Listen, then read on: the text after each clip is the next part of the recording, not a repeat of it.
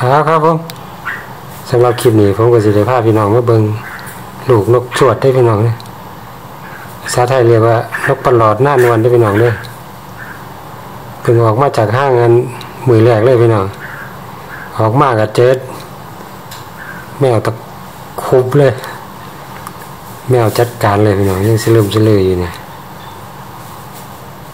ผมก็เลยเอามาให้เพิ่นฟักฝืนอยู่นี่ เป็นตาสิรอดอยู่ปล่ะตาสิรอดอยู่เราเพิ่นรู้สึกว่าฝืนแหละฝืนขึ้นมาจังหน่อยละ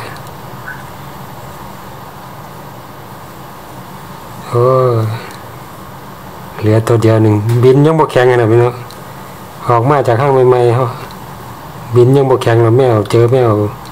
สัตว์ซะอืมเอาโอเคเดี๋ยวให้แม่ผมมาดูแลต่อพี่น้อง